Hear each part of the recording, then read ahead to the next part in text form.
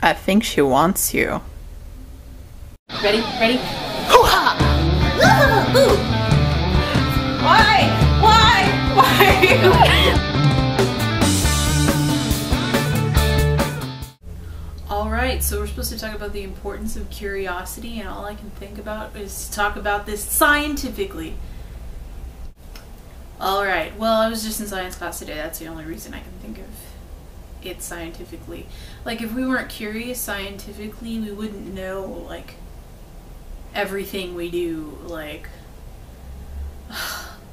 ugh, all the chemistry laws and all the ways molecules work and interact with each other and or anything about biology which which especially genetics, which I find interesting. I don't think Mendel would have studied those pea plants for so long, you know. We wouldn't have physics or astrophysics, and we wouldn't have any sort of study of the planets around us. I mean, I think we would probably still think that the world revolved around the sun. Oh, it would just be so boring without curiosity of science.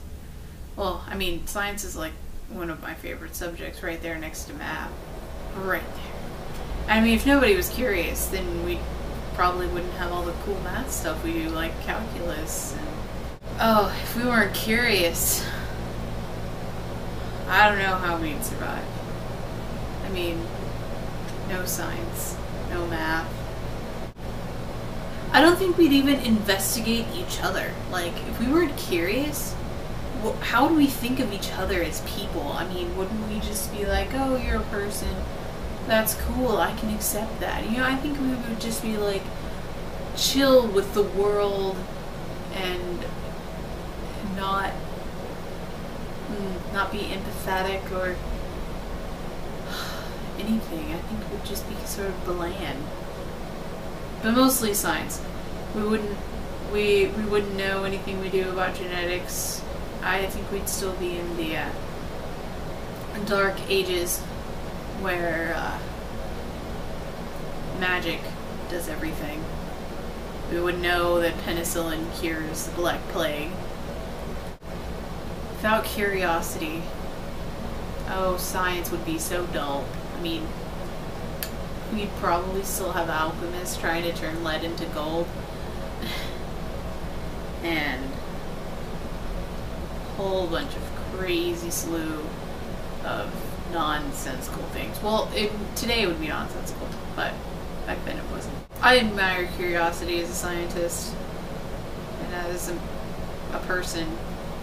It's really one of the things I like. And, I mean, if if we didn't have curiosity, I mean, what would cats do all day when you're not home?